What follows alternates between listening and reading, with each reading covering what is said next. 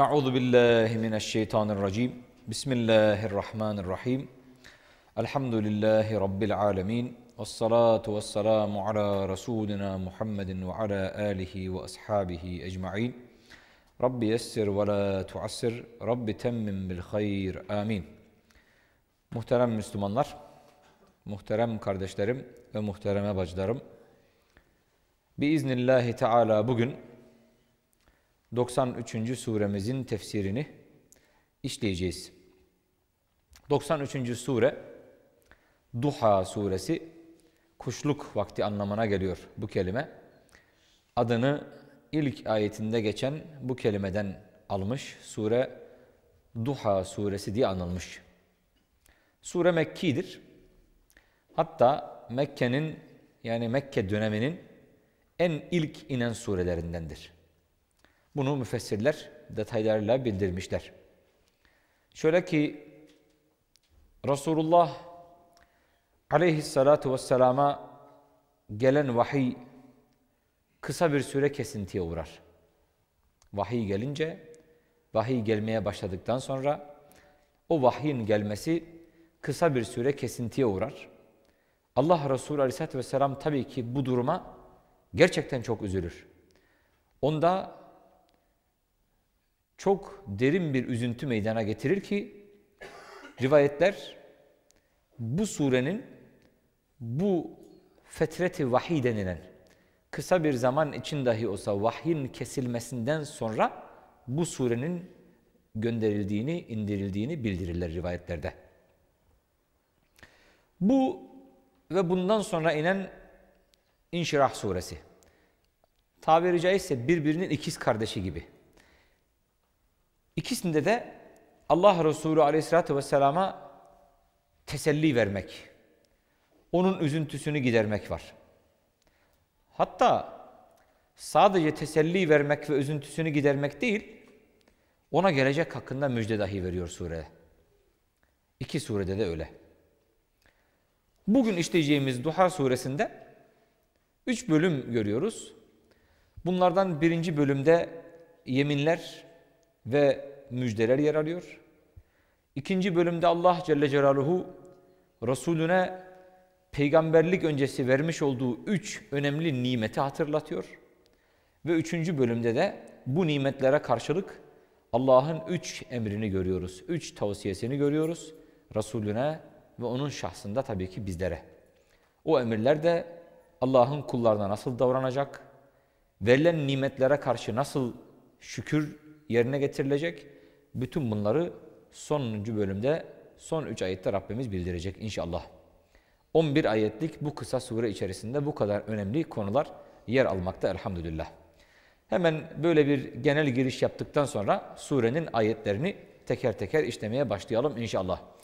Euzu billahi mineşşeytanirracim. Bismillahirrahmanirrahim. Ve duha. Birinci ayette Rabbimiz yeminle başlıyor. Mekki surelerde bundan öncekilerinde de gördüğünüz gibi artık bunları sık sık söyledik. Bu surelerde Allah Celle Celaluhu çok önemli meseleleri beyan etmeden önce yemin ederek dikkatlerimizi bir hususa çekiyor. Ondan sonra yeminlerin cevabı geliyor. Ama en önce birinci ayette birinci yemin duha yemin ederim ki duhaya yani kuşluk vaktine buyuruyor Rabbimiz Allah Celle Celaluhu. İkinci ayette وَالْلَيْلِ اِذَا سَجَى sükûna erdiğinde, kapladığında geceye yemin ederim ki ma vedda'ake rabbuke ve ma qala. Ey Muhammed sallallahu aleyhi ve sellem senin Rabbin seni bırakmadı. Senin Rabbin seni terk etmedi ve o sana darılmadı, sana küsmedi buyuruyor Rabbimiz. Üçüncü ayet-i kerimede muhterem kardeşlerim. Rivayetlere göre vahyin gelişinin ikinci veya üçüncü yıl Allahu Alem. Tam olarak zamanını kestirmek zor. Tefsirlerde bu buna yönelik malumatlar verilmiş. İkinci veya üçüncü senesinde Allah Resulü Aleyhisselatü Vesselam kendisine gelen vahyi indirilmiş olan ayet-i kerimeleri hemen tebliğ ediyor tabii ki ashab-ı kirama, müminlere, dinleyenlere. Fakat işte bu sureden önce gelen Fecir suresi olduğu bildiriliyor. O Fecir suresi geldikten sonra bir ara vahiy gelmiyor. Burada da değişik rivayetler var. 3 gün, 12 gün, 15 gün veya 40 gün diyen müfessirler var. Hepsinin dayandığı deliller var tabii ki. Fakat 3 ila 40 günlük bir dönem arasında vahiyin gelmesi kesintiye uğruyor. Burada tefsirlerin bize aktarmış olduğu kesin malumat var. Aslında vahyin geliş sürecinde bu normal karşılan, karşılaşılması gereken, karşılanması gereken bir mesele iken vahyin daha ilk dönemlerinde bu yaşandığı için Allah Resulü Aleyhisselatü Vesselam bunun anormal bir durum olduğunu, belki de vahyin tamamen kesildiğini zannediyor. Hani nasıl ki ilk gelen ayetlerde Kıyamet suresinde işlemiştik hatırlayacaksınız. La tuharrik bihi lisaneke li ta'cele bih. Hani o Cibril Emin'in sana getirdiği vahyi almak için dilini kıpırdatma diyor ya Allah Celle Celaluhu. Hani o unutmayayım diye hiçbir harfi dahi zayi olmasın diye öyle bir heyecanla, öyle bir pür dikkatla vahyi takip ediyor, dinliyor. Allah Celle Celaluhu ona öğretiyordu ve ona eğitiyordu vahyi gönderirken. Bir süreç yaşanıyordu. Ama bu olaydan müşrikler haberdar oluyorlar. Haberdar olunca, haber alınca zaten öteden beri yapmış oldukları dedikoduyu alaya çeviriyorlar. Hakarete çeviriyorlar. Rabbi onu işte terk etti. Rabbi onu Rabbi ona kızdı diyorlar. Ondan ayrıldı diyorlar. Hakikaten Allah Resulü Aleyhisselatü vesselam üzerinde bu sözler ağır tesir gösteriyor. Ona ciddi bir üzüntü yaşatıyor. Burada bir incelik var aslında. Antiparantez hatırlatmakta fayda var. Yaşanmış olan bu olay dahi muhterem kardeşlerim, Hz. Muhammed Aleyhisselatü Vesselam'ın gerçekten Allah tarafından gönderilmiş bir peygamber olduğuna başlı başına bir delildir. Neden diyecek olursanız, eğer o peygamber olmasaydı, onlara bu sözleri söyletmemek için, onlara bu sözleri konuşturma fırsatı vermemek için vahyin kesintiye uğradığı bir dönemde dahi kendi sözleriyle bazı şeyler uydurabilirdi gerçek peygamber olmasaydı.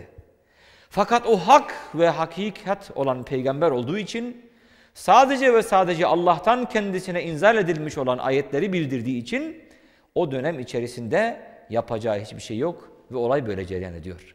Yani bu olay dahi gerçekten mantıkla düşünüldüğü, yaklaşıldığı zaman onun Allah'ın peygamberi olduğuna dair başlı başına yeterli bir delildir elhamdülillah. Tam böyle bir durumda, böyle bir zaman ve zeminde Allah Resulü Aleyhisselatü Vesselam'ın işte bu kaygısı, bu endişesi, bu üzüntüsü zirveye ulaşmış bir durumdayken Allah Celle Celaluhu Cebrail Aleyhisselam'ı gönderiyor.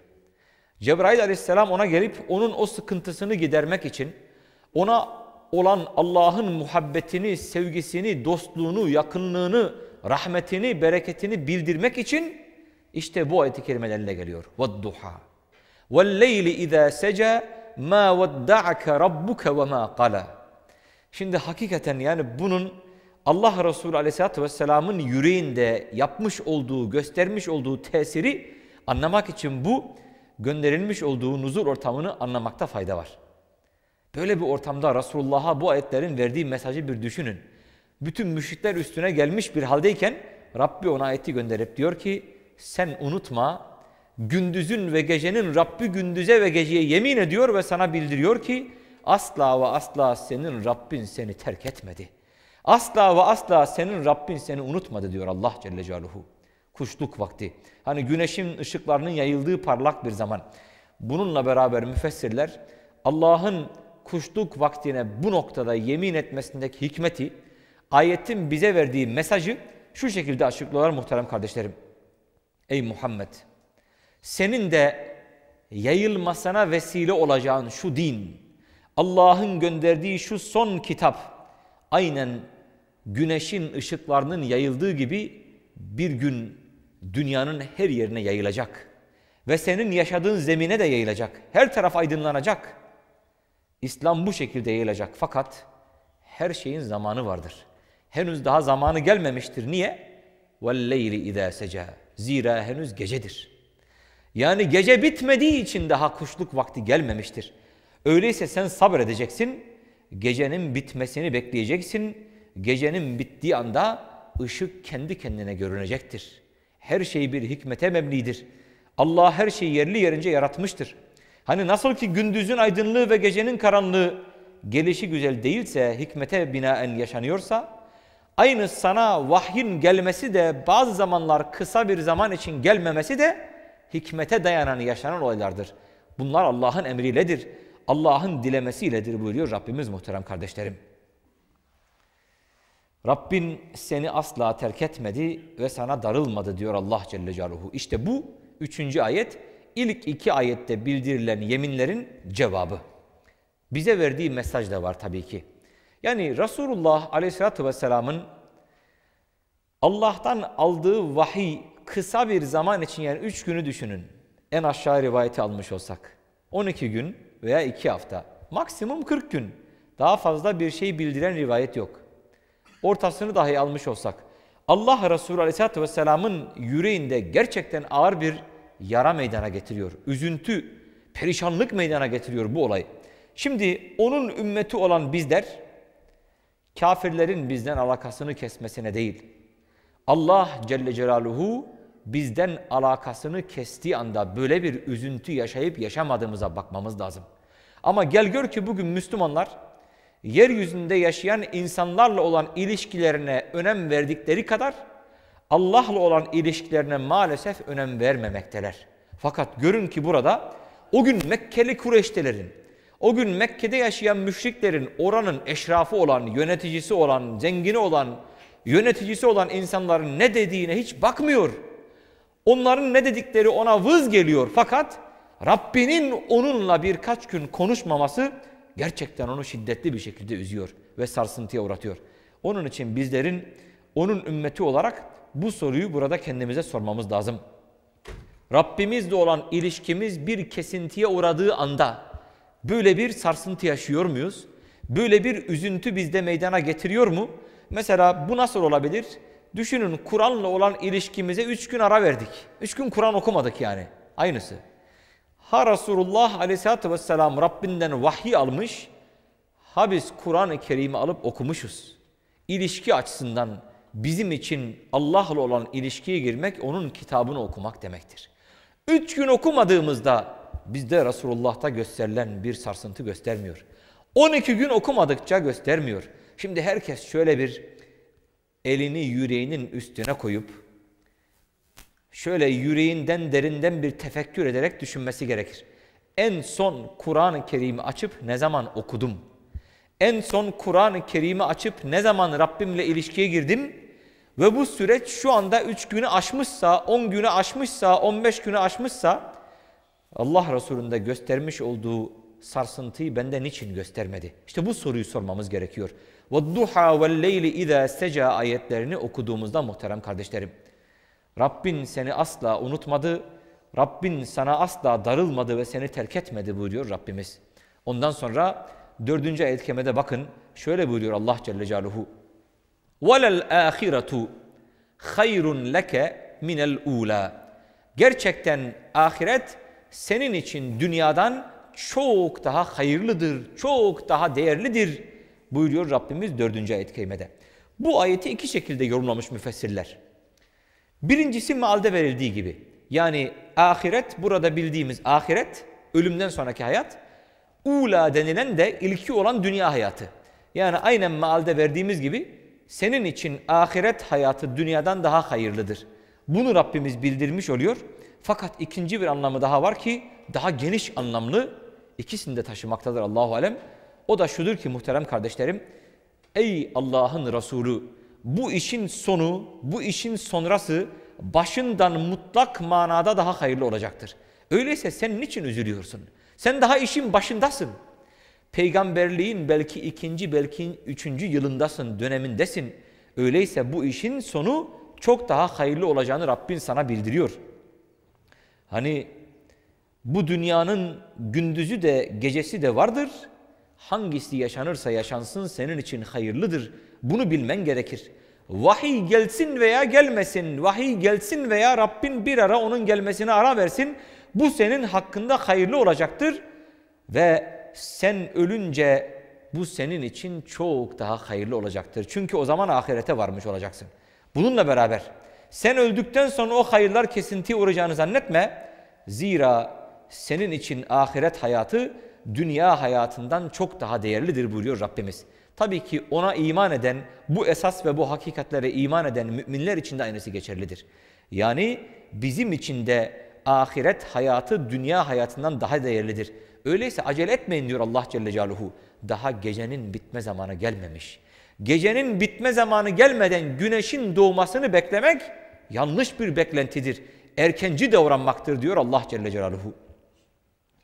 Tabii ki şimdi düşünün bu ayeti kerime Risaletin ilk dönemlerinde Müslümanların gerçekten çok zayıf, Müslümanların gerçekten çok az olduğu bir dönemde yani böyle görünüşte muzaffer olma imkanlarının hiç ihtimalinin dahi olmadığı bir dönemde Allah ayet gönderiyor ve onlara diyor ki bu işin sonu başından çok daha hayırlı olacaktır. Yani müşrikler bununla tamamen alay ediyorlar. Fakat inananlar için bu gerçekten bir teselli, onlar için bir moral bombası tabiri caizse. Allah Celle Celaluhu onlara bu şekilde moral veriyor muhterem kardeşlerim. İnşirah suresinde bunu daha bir başka detayıyla göreceğiz inşallah. Yani başlangıçtaki zorluklardan sonra gelen her merhalede bir hayır vardır. Bir kolaylık olacaktır, bir başarı olacaktır. Allah'ın vaadi budur ve Allah'ın vaadi bu olduğuna göre iki dünyanın da Rabbi ve sahibi o olduğuna göre sadece bu dünyayla sınırlı değildir. Zira o 5. ayette buyuruyor ki وَلَسَوْفَ يُعْطِيكَ رَبُّكَ فَتَرْضَى Pek yakında ileride sevfe müzari fiilin başına geldiği zaman ileride olacak, yaşanacak bir vukuatı bildirmiş olur. İleride yakında Rabbin sana verecek fetarda sen de hoşnut olacaksın diyor Allah Celle Celaluhu. Yani ey Muhammed sallallahu aleyhi ve sellem çok yakında ileride Allah sana verecek ve sen de razı olacaksın. Şimdi düşünebiliyor musunuz? Kısa bir zaman için vahyin kesilmesiyle birlikte Allah Resulü hakkında alay, hakaretlere başvuran, dedikodu yapan kafirlere hani Rabbi onu terk etti, Rabbi onu bıraktı, Rabbi ona darıldı diyenlerin sözlerine tamamen bir şamar bu ayet-i kerime. Yani bırak Rabbinin seni unutmasını, bırak Rabbinin seni terk etmesini Allah buyuruyor ki Rabbin ileride sana verecek ve sen razı olacaksın. Sen memnun olacaksın diyor Allah Celle Celaluhu 5. ayet-i kerimede muhterem kardeşler. Zira bu ayet-i kerimenin ileride ne gibi olaylarıyla desteklendiğini, açıklandığını siyeri bilen, Resulullah'ın hayatını bilen insanlar biliyorlar. Bu ayetlerden nice yıllar sonra Allah Resulü Aleyhisselatü Vesselam'ın Medine'si oldu. Ama aradan uzun zamanlar geçti. 10 küsür sene geçti. Bu ayetler indikten nice yıllar sonra devleti oldu Allah Resulü Aleyhisselatü Vesselam'ın. Bu ayetler indikten nice yıllar sonra وَلَسَوْفَ يُعْتِيكَ رَبُّكَ Rabbin sana verecek Mekke'yi fethedeceksin diyor Allah Celle Celaluhu. Sevfe. Ne zaman olduğunu bilemezsin sen ama Allah'a güven. Sen razı olacaksın diyor Allah Celle Celaluhu. İşte Resulullah Aleyhisselatü Vesselam buna yakinen iman ettiği için artık onun önüne kim engel koyabilir? Müşriklerin onun hakkında söyledikleri alay ve dedikodular onda hiçbir tesir göstermiyor muhterem kardeşlerim. Sadece bunlar değil. Sen davanın galibiyetini göreceksin. Sen daha ömründeyken Arap Yarımadası'nda bu davanın nasıl yayıldığını göreceksin. Sen öldükten sonra bana ümmetimin fethettiği yerler gösterildi diyor Efendimiz sallallahu aleyhi ve sellem. Roma İmparatorluğundan tut sınırlarına, İran Pers İmparatorluğu'na varana kadar, Irak'ın sınırına kadar, Asya'ya kadar senin ümmetin ne gibi fetihler gerçekleştireceğini وَلَسَوْفَ يُؤْتِيكَ رَبُّكَ فَتَرْضَى Rabbin sana verecek ve sen razı olacaksın diyor Allah Celle Celaluhu. Onunla da yeterli değil. Sonra ahirette sen vefat edeceksin, ahirete varacaksın, makamı mahmuda ulaşacaksın. Allah'ın senin için hazırlamış olduğu özel bir makam. Sana Allah'ın vermiş olduğu Havzu Kevser'in etrafında ümmetini bekleyeceksin ve onlara şefaatçi olacaksın diyor Rabbimiz Allah Celle Celaluhu muhterem kardeşlerim. Kurtubi'de iki tane rivayet var. Bu ayet-i kerimenin tefsiriyle alakalı onları paylaşalım inşallah. Birisi Müslim'in sahihinde geçen Abdullah bin Amr bin As'ın rivayetinde Allah Resulü Aleyhisselatü Vesselam'ın Hazreti İbrahim hakkında artık kim bana uyarsa o bendendir. Kim bana isyan ederse gerçekten sen günahları bağışlayan ve merhametlisin. İbrahim suresinin 36. ayetidir diyor Efendimiz Aleyhisselatü Vesselam. O ayet Hazreti İbrahim hakkındadır. Hazreti İsa hakkında ise eğer onları azap edersen şüphe yok ki onlar senin kullarındır. Ayeti onun hakkındadır diyor. Sonra ellerini kaldırıp Allah'ım ümmetim, Ya Rabbi ümmeti, Ya Rabbi ümmeti bazen sabahlara kadar dedi ve ağladı, dedi ve ağladı. Müslim'in Müslim'de geçen rivayette Allah Celle Celaluhu Cebrail Aleyhisselam'a dedi.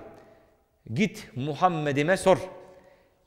Rabbin daha iyi bildiği halde tabii ki. Sor ona niçin ağlıyorsun? Zira biz öğrenmemiz lazım. Cebrail aleyhisselam geldi ve ona sordu.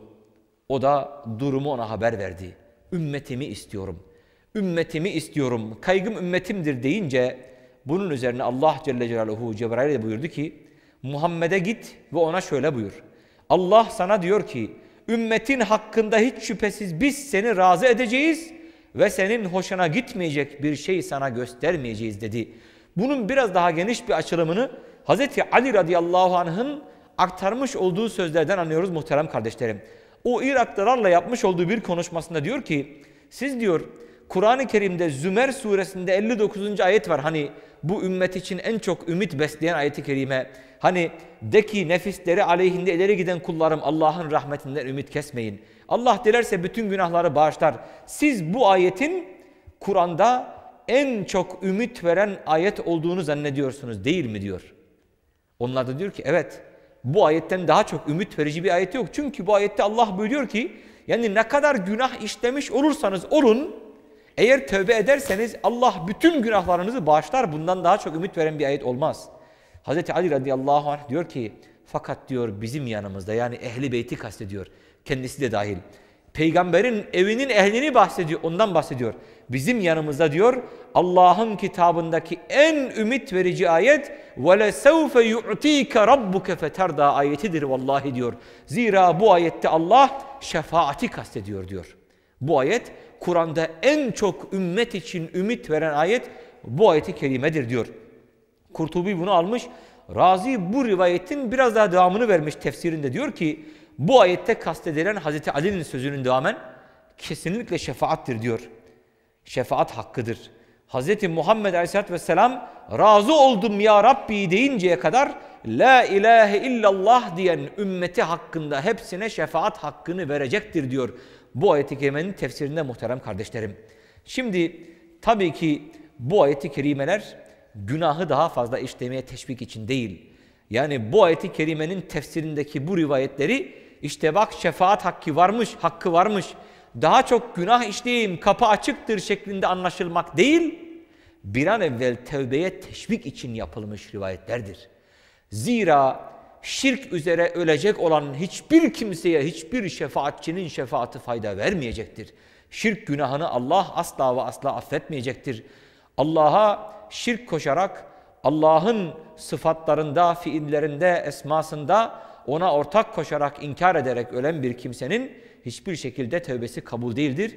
Öyleyse ölüm gelmeden önce bir an evvel bu ayetlerin tefsirindeki bu rivayeti esas alarak tövbeye yönelmek işte teşvik içindir muhterem kardeşlerim.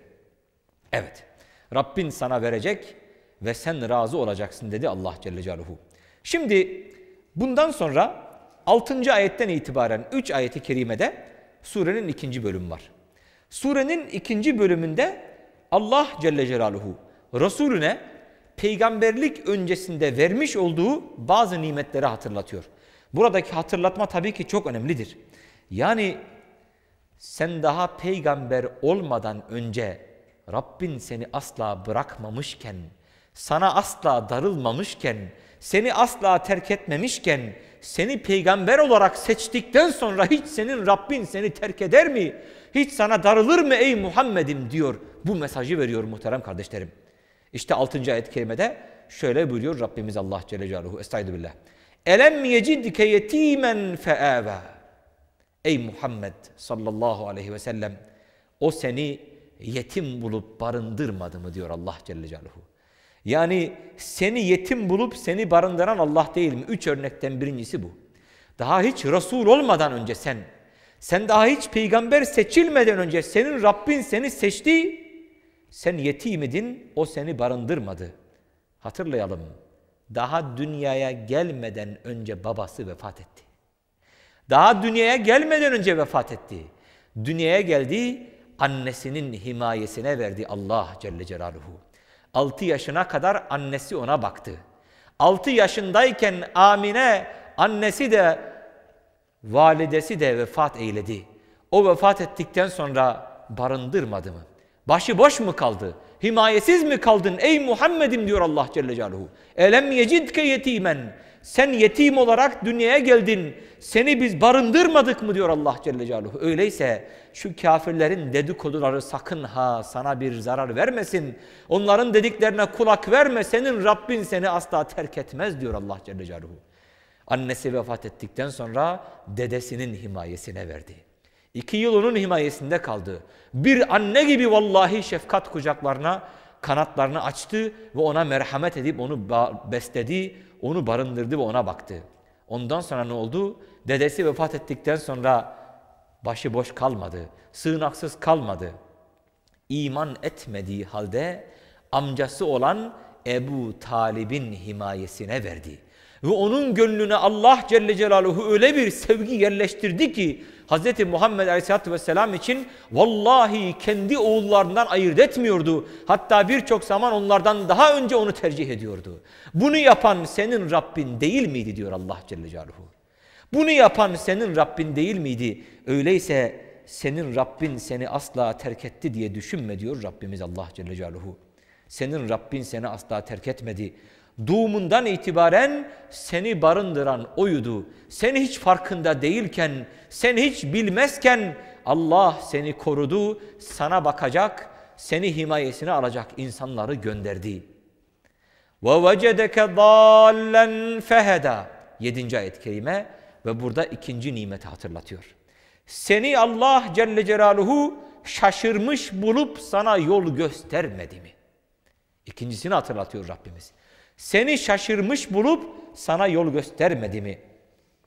Buradaki dal kelimesi tabii ki hidayetin zıttı olan delalet anlamında asla ve asla asla ve kat'a anlaşılmamıştır. Ve anlaşılması tabii ki mümkün değildir.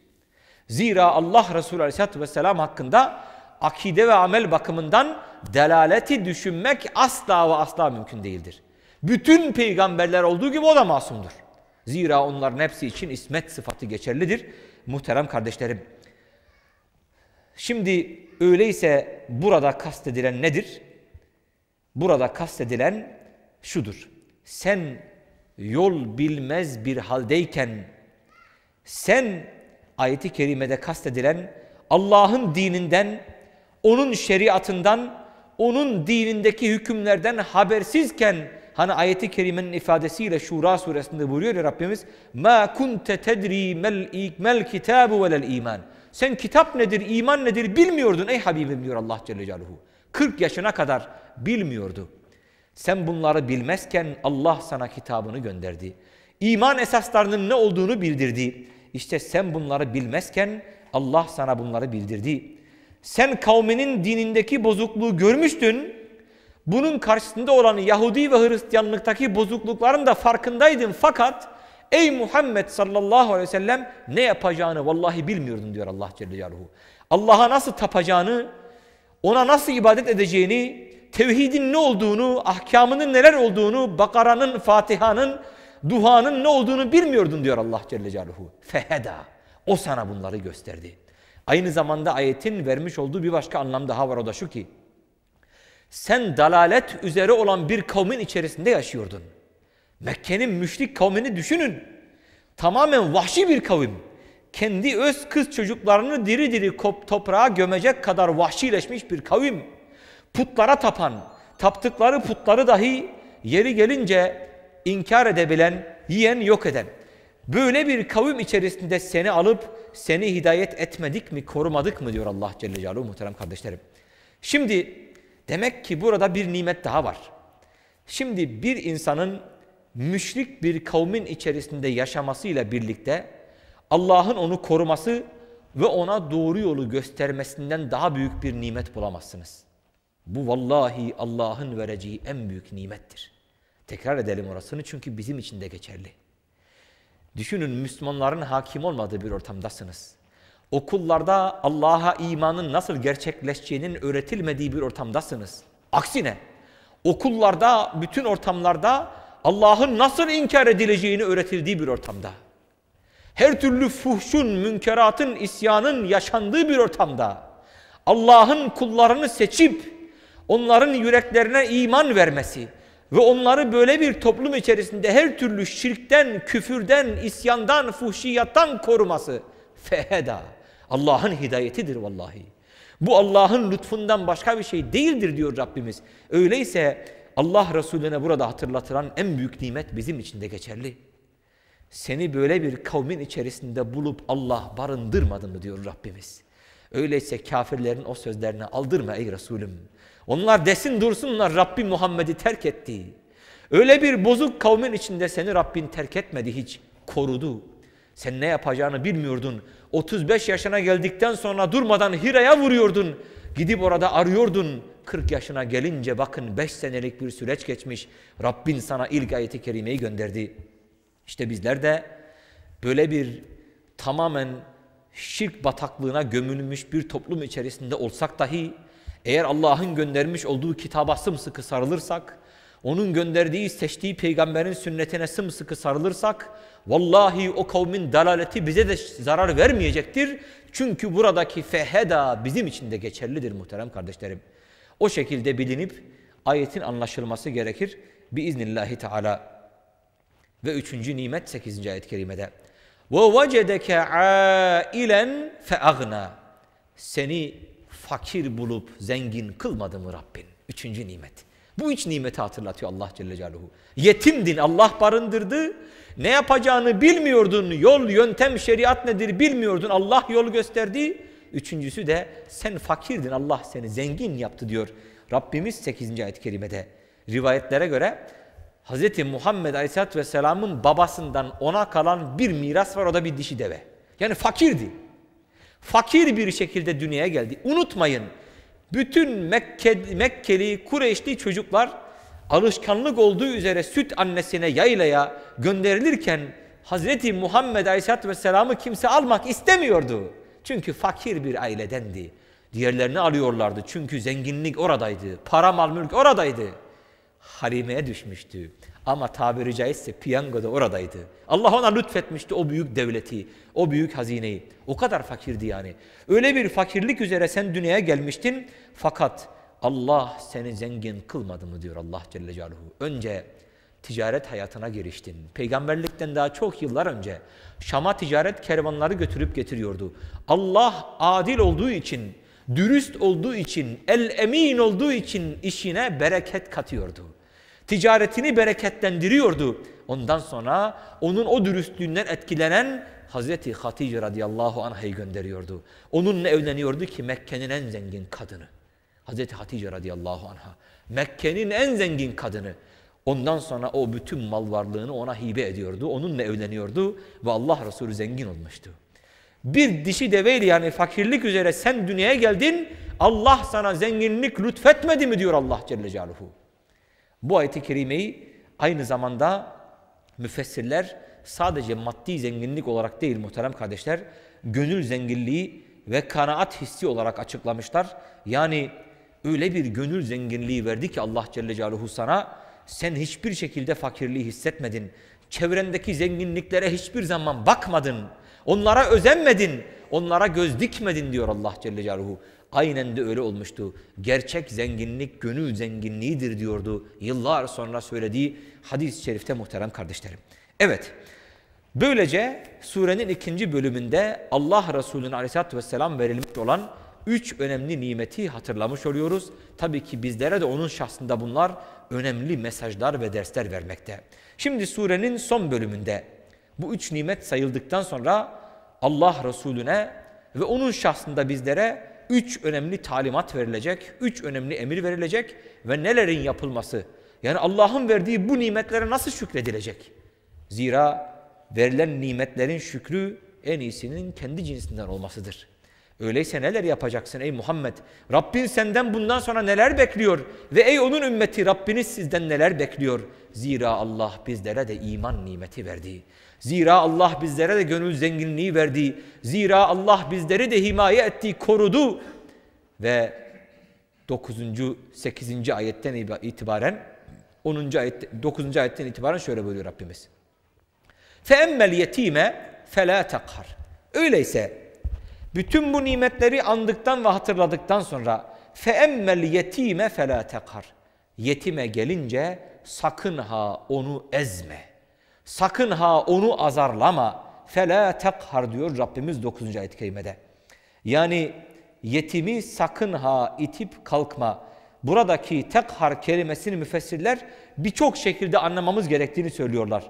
Yüzünü ekşitmek, yetimi kovmak, onu azarlamak, onurunu kırmak, ona yapılan iyiliği başa kakmak, malını herhangi bir şekilde yemek yani maddi ve manevi yetime herhangi bir zarar verecek davranışta bulunmak. Sakın ha yapma diyor Allah Celle Celaluhu. Zira sen yetimdin diyor Allah peygamberine. Sen yetimdin öyleyse sakın ha yetimi azarlama diyor. Onun şahsında bize diyor Allah Celle Celaluhu. Muhterem kardeşlerim. Bu nedenle Allah'a şükür olarak hiçbir yetimi sakın ha bu şekilde davranarak kırma diyor Rabbimiz. Ve o da öyle diyordu. Allah'tan başka hiç kimsesi olmayan hakkında Allah'tan korkun diyordu. Allah'tan tekrar ediyordu hadiste. Allah'tan başka hiç kimsesi olmayan hakkında Allah'tan korkun. Zira o Allah'ın himayesindedir karşınızda Allah'ı bulursunuz. Yetimi kastediyor.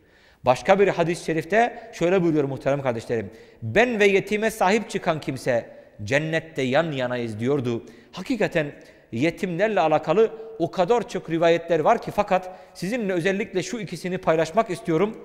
Kurtubi tefsirini almış İbni Ömer radıyallahu anh'tan aktarılan şu hadisi şerifte Efendimiz Aleyhisselatü Vesselam şöyle buyuruyor. Meselenin ehemmiyetini bize gerçekten güzel aktaran bir rivayet. Vaktimiz dar olduğu için bununla yetineceğim inşallah. Diyor ki Efendimiz Aleyhisselatü Vesselam hiç şüphesiz yetim ağladığı vakit yeryüzünde bir yetim ağladığı vakit onun ağlaması dolayısıyla Rahman olan Allah'ın arşı titrer diyor. Arşı sallanır. Yeryüzünde bir yetim ağladığında Allah'ın arşı sarsılır. Ve Yüce Allah meleklerine şöyle buyurur. Ey meleklerim babasını toprağın altına aldığım bu yetimi kim ağlatıyor diye sorar. Bildiği halde. Ve melekler derler ki Ya Rabbi sen daha iyi biliyorsun bunu derler. Allah meleklere şöyle buyurur. Ey meleklerim şahit olun ki kim o yetimi susturursa onun gönlünü hoş ederse ben de kıyamet gününde onu hoşnut ve razı edeceğim şahit olun der. Diyor Allah Celle Celaluhu muhterem kardeşlerim. İbni Ömer bu hadisi şerifi duyduktan sonra nerede ne zaman bir yetim görse başını sıvazlar. Onun gönlünü herhangi bir şekilde elinde verecek bir şey olmasa dahi ona davranışıyla onun gönlünü alarak hoşnut ederdi diyor ravi muhterem kardeşlerim. Her kim bir yetimi baktığı çocuklarına katarak onun nafakasını karşılar, ihtiyacını görüp gözetirse kıyamet gününde bu cehennem ateşine karşı ona perde olacaktır diyor. Başka bir hadis-i şerifte Hazreti Enes radıyallahu anh'ın aktarmış olduğu muhterem kardeşlerim. Öyleyse feemmel yetime fela takhar. Sakın ha yetime karşı böyle bir davranışta bulunma diyor Allah Celle Celaluhu. Bugün yeryüzünde bırakın çocuğun fıtrat olarak dini İslam'dır. Fakat gerçekten bizim Müslümanların çocukları arasından o kadar çok yetimler var ki elimizin uzandığı yerlerde, seslerini duyabildiğimiz yerlerde, uzanabildiğimiz, kavuşabildiğimiz yerlerde onlara karşı vallahi sorumluluklarımız var. فَاَمَّ الْيَت۪يمَ فَلَا تَقَرْ ayeti bize direktmen hitap ediyor muhterem kardeşlerim. Sakın ha yetimi kahre, yetime kahreyleme diyor Allah. Onu incitme. Senin malında onun hakkı olan malı yeme. Malımızda hakkı mı var? Vallahi var.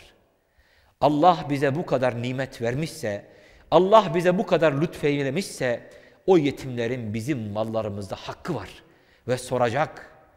Onların o ağlamaları, onların o sızlamaları Allah'ın arşını titretiyor, bizim gönüllerimizi incitmiyorsa burada gerçekten bir maraz var demek muhterem kardeşlerim. Duymadım, görmedim, bugün kim diyebilir? Bugün kim diyebilir? Kendi ellerimizle ulaşamıyorsak, gerçekten güvenebildiğimiz, gerçekten samimi Müslümanların gittiği elleriyle uzattığı, götürdüğü kardeşler var. Onlar aracılığıyla bu görevi yerine getirmezsek, bu ayetin hakkını ve hesabını ahirette veremeyiz. Öyleyse bu ayeti kerime hakkında iyi bir şekilde tefekkür etmemiz, gereğini yerine getirmemiz gerekiyor. Ve 10. ayet, ikinci talimat, ikinci emir. Üç nimet hatırlatıldı, üç emir demiştik. Ve emme sâile felâ tenhar. Sail olan, isteyen demek yani. Onu sakın ha la tenhar, azarlama. Ona hor ve hakir davranacak, gösterecek bir davranışta bulunma diyor Allah Celle Celaluhu. Sail, dünyalık bir şey isteyen kimse demek. Açıkça bu. Birinci anlam budur yani ayetten anlaşılan ve yukarıda da hani ailen feagna dediği için burada kastedilen isteyen birisini sakın ha azarlama geri çevirme buyuruyor Rabbimiz. Hani hadis-i şerifte dilenci at üzerinde bile gelse hakkı vardır diyordu Efendimiz sallallahu aleyhi ve sellem. Ebu Davud'da geçen hadis-i şerifte. Meselelerin ehemmiyetini bildiren güzel bir rivayet. Yani dilenci at üzerinde dahi gelse bakın. Neden? Çünkü at üzerinde gelen bir dilenci herkes der ki bunun neye ihtiyacı var canım atı dahi var. Onu dahi geri çevirme diyor Efendimiz sallallahu aleyhi ve sellem. İsteyeni geri çevirme diyor Allah Celle Celaluhu. İbrahim bin Ethem'in çok güzel bir sözü var. Kurtubi'de okudum yanılmıyorsam. Diyor ki dilenciler ne kadar güzel insanlar diyor. Hani İbrahim bin Ethem'in ağzına gerçekten yakışan bir söz. O güzel zatın ağzına. Dilencilerden belki herkes nefret ediyor. Herkes onları azarlıyor. Herkes onları kovarlıyor. Fakat İbrahim bin Ethem de diyor ki dilenciler ne kadar güzel insanlar. Zira onlar bizim azıklarımızı bizden önce ahirete taşıyan insanlar diyor. İbrahim bin Ethem gibi iman edersen, İbrahim bin Ethem gibi meseleye yaklaşırsın muhterem kardeşim.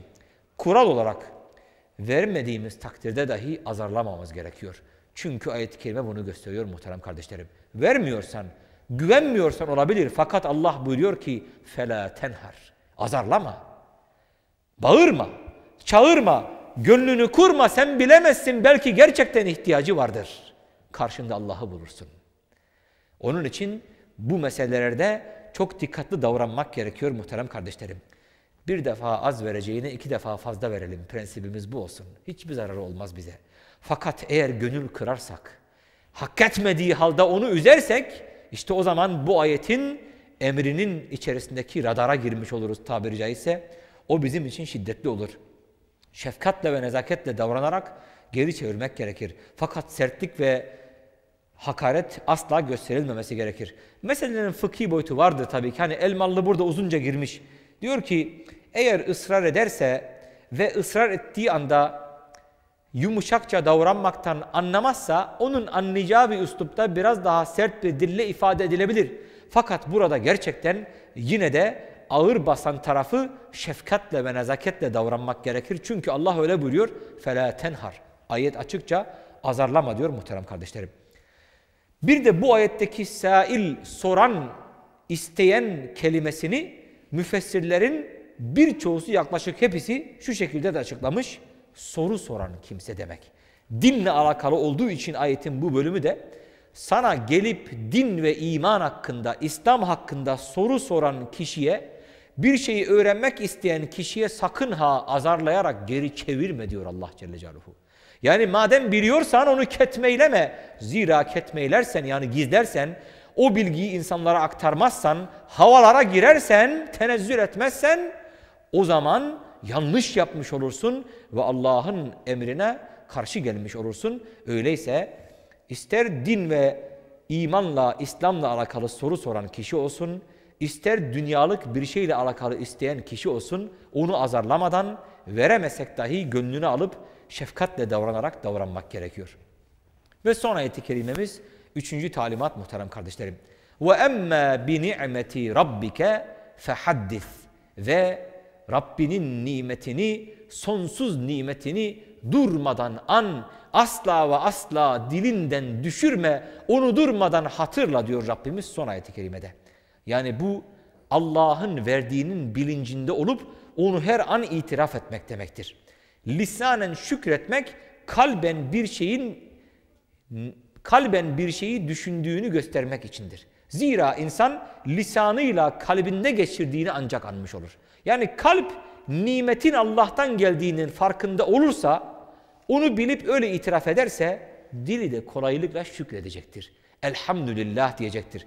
Tabii ki burada itiraf etmek şükrün yani şükretmenin rükünleri vardır. Özetle üç olmazsa olmaz rüknünü hatırlayalım inşallah. Bir defa Allah'ın vermiş olduğunu itiraf etmen lazım. Yani bu bendendir bilinci şükrü zaten yıkar. Bir şeyi ben kendim kazandım, kendim elde ettiğim düşüncesi onun şükrünü asla ve asla yerine getirememek demektir. Mutlak manada Allah'tan bileceksin. O beni imtihan için verdi diyeceksin. Bu birinci rüknü. Olmazsa olmaz. İkincisi nimetlerinden dolayı dilinle bunu hamdü sena ederek göstereceksin. Ve insanlara da bunu anarak hatırlatmış olacaksın. Üçüncüsü ise bu nimetleri Allah'ın rızasını kazanacak bir şekilde kullanacaksın. Bu üçü yerine gelirse şükrün üç zaruri yani olmazsa olmaz rüknü yerine gelmiş olur. Birinden biri eksik olursa şükretmiş olamazsın. Yani elhamdülillah iyi bir kazanç verdi, nasip olduğu iyi para kazanıyoruz. Fakat kazandığın parayı götürüp Allah'ın razı olmayacağı yerde harcarsan onun şükrünü yerine getirmen mümkün değildir. Bu şükür için olmazsa olmaz bir şartı yıkmış olman demektir. Allah sana kazanmanı lütfettiyse sen onu Allah'ın razı olacağı yollarda harcayacaksın. Bunu dilinle durmadan anacaksın ve bunu kalbinde asla ve asla unutmayıp her an itiraf edeceksin. Hiçbir zaman bundan başka bir duygu kalbine hakim olmayacak. Allah çok güzel vermiş ama Allah'ın düşmanlarıyla birlikte harcayayım. Allah'ın düşmanları için harcayayım. Allah'ın razı olmayacağı yerlerde harcayayım. Sabaha kadar dilinle elhamdülillah de, sabaha kadar dilinle Allah'a şükrolsun de, bu şükür geçersizdir. Öyleyse dikkat edeceğiz muhterem kardeşlerim. Ve emme bi ni'meti rabbike fehaddis. Asla ve asla Allah'ın verdiğini unutma. Bu ayet nimetlerin başında bir defa iman nimetini olduğunu bize söylüyor. Hani diğerlerine hiç varmadan önce iman nimetini eğer anmazsak, Kur'an'ı anmazsak, Allah Resulü gibi bir Resulün, bir peygamberin bizim için en büyük nimet olduğunu hatırlamazsak, anmazsak o zaman bu nimetleri vallahi unutmuşuz demektir. Yani sana verilen paranın, yiyecek ve içeceklerin şükrünü yapamazsın. İman nimetinin, Kur'an nimetinin, sünnet nimetinin gereğini yerine getiremezsen. En büyük nimetler zira bunlardır. Öyleyse bunların bilincinde olacaksın. Yani bunun için söylüyorum. Çünkü Allah dilerse bazen fakirlikle imtihan edebilir muhterem kardeşlerim. Standartlarımız çok düşük olabilir. Hani affedersiniz Almanya'da yaşayan Müslümanlar için fakirlik gibi bir kelimeyi kullanmak gerçekten abesle iştigal etmektir. Bunu itiraf edeceksiniz. Almanya gibi bir ülkede yaşayan insanların fakirlik gibi bir kavramı ağızlarına anmaları, bende de yok, eksik gibi kelimeleri kullanmaları vallahi ayıptır. Yeryüzündeki insanlığa bir bakalım. Suriye'deki Yermük kampına bir bakalım. Mültecilerin kamplarını bir gezelim. Dünyadaki insanları bir görelim ondan sonra ve emma bi ni'meti rabbike fehaddisle olan ilişkimize bakalım. Fakirlik ne demek bizim için? Biz fakirliğin f'sini dahi vallahi bilmemiz mümkün değildir. Bir elimiz yağda bir elimiz balda. Biz bunun gereğini yerine getirip getirmediğimize bakmamız lazım.